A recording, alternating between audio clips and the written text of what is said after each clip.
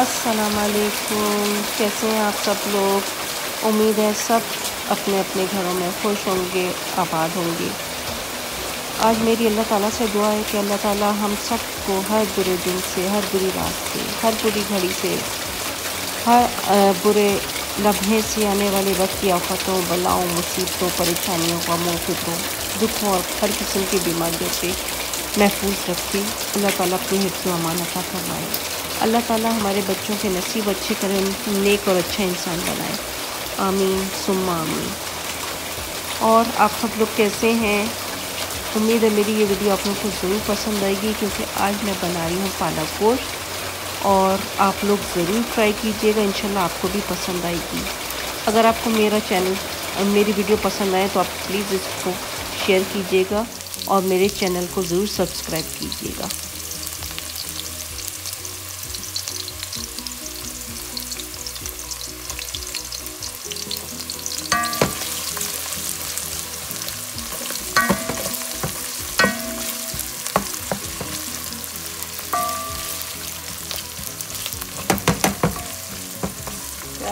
प्याज को हल्का सॉफ्ट करने के बाद इसके अंदर मैं डालूँगी गोश्त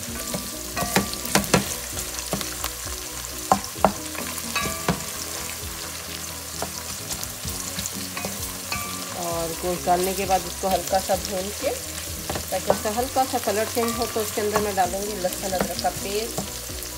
और ये हल्के से सॉफ्ट हो जाए तो फिर उसके अंदर मैं डालूँगी गोश्त।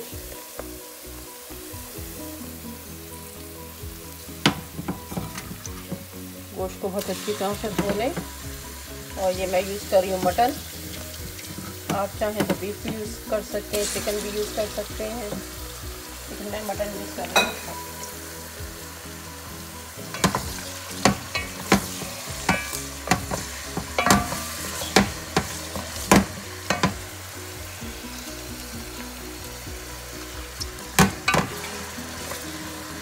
अगर आप इसको हांडी में बनाएँगे तो इसका जायका और ज़्यादा मज़े का हो जाएगा।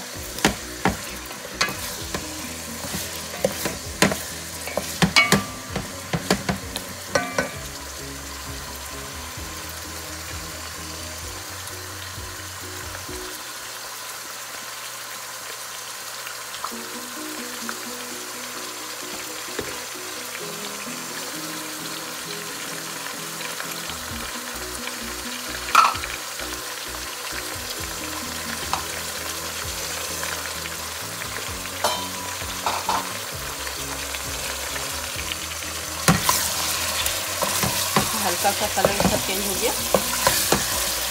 अपना इसमें डालेंगे लहसुन अदरक का पेस्ट। रहे रहीम। जो अदरक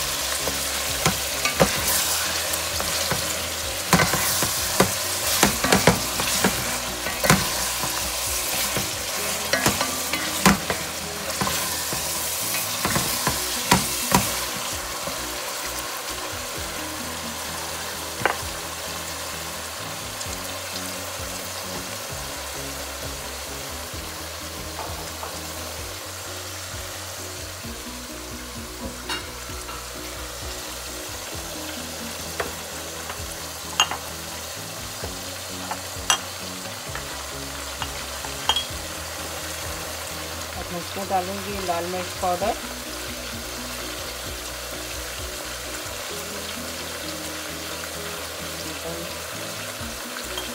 टीस्पून जितना थोड़ी हल्दी।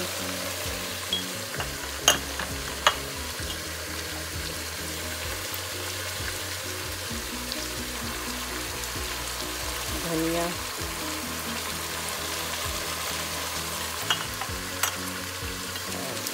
नमक थोड़ा हाथ रख के डालें, क्योंकि कहते हैं कि पालक भी थोड़ी सी नमकीन नमकीन होती है इसलिए ज़रा।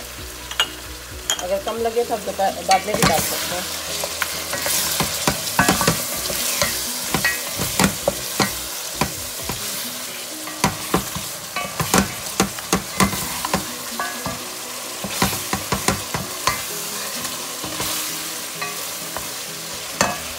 और अब इसमें मैं ये डाल दूँगी टमाटर।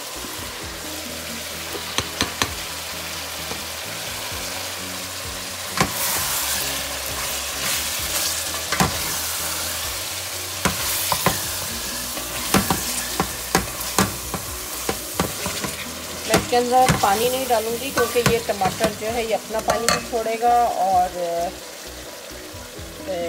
गोश्त भी अपना पानी छोड़ेगा। तो इंशाल्लाह उसमें गल जाता है।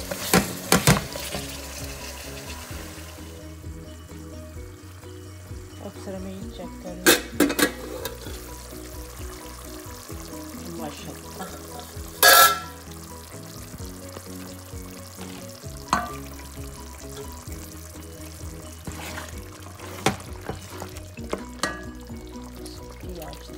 इसको और फिर इसके बाद इसके अंदर मैं डालूँगी पालक। पानी खुश करके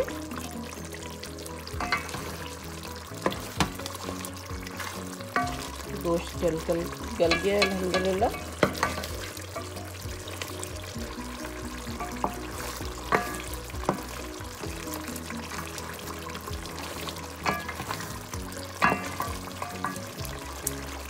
गिलास टॉप चूल्हे की वजह से मेरा जो ये पतीला है, एक जगह टिकता नहीं है इसको। बड़ी मुश्किल से मुझे गोश्त भूनना पड़ता है, क्योंकि ये गिलास टॉप है तो वो उसकी वजह से जो है ज़रा मुश्किल हो जाती है गोश्त भूनने में। ये देखें नीचे से। जिस तरह का है। तो ज़रा मुश्किल हो जाती है फिर इसको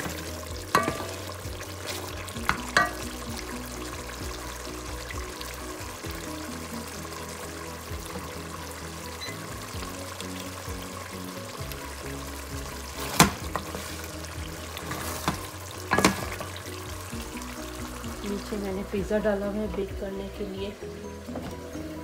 हाफ़ पिज़्ज़ा है ये। ये हो चुका है।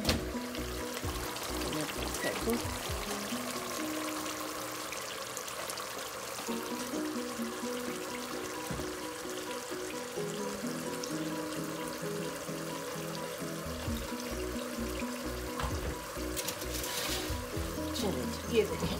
हाफ़ मैंने पहले बेक कर लिया था तो हाफ़ बन जाना था तो मेरा अभी हाफ़ अब मैं इसके अंदर पालक डाल दूँगी। और उसके साथ ही मैं इसमें थोड़ी सी मेथी भी, थोड़ा सूखा सोया है मेरे पास, वो मैं डाल दूँगी। और उसके बाद मैं हरी मिर्च डाल के इसको दम पे रखूँगी।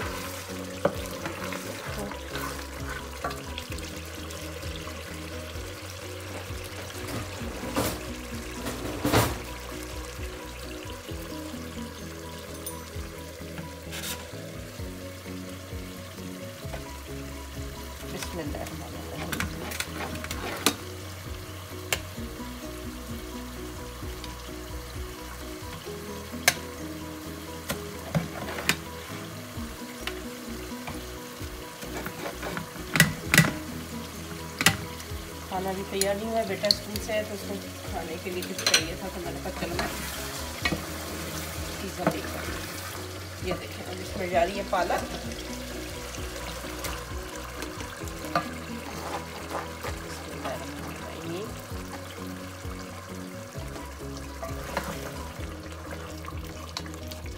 पालक को मैंने हल्का सा स्टीम दे दिया था, काटने के बाद।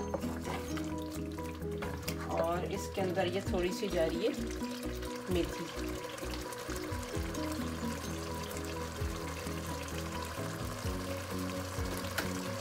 बहुत अच्छा कॉम्बिनेशन होता है पालक, मेथी और सोया का। सोया जो है मैं इसके अंदर आखिर में डालूँगी।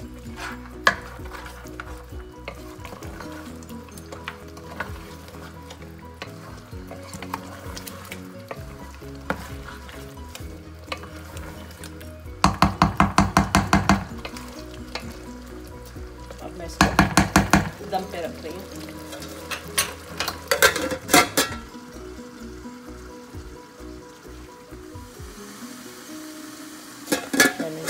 चेक कर लूँ। दम आ गया इसमें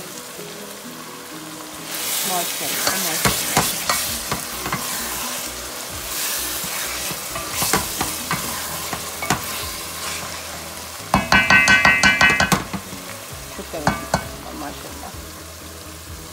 अब मैं इसके अंदर डाल देती हूँ हरी मिर्चें। हरी मिर्चें डाल के इसको दम पे रख के पाँच मिनट के लिए। देखिए, माशाल्लाह कितना खूबसूरत लग रहा है। खुश शक्ल भी और खुश जायका भी।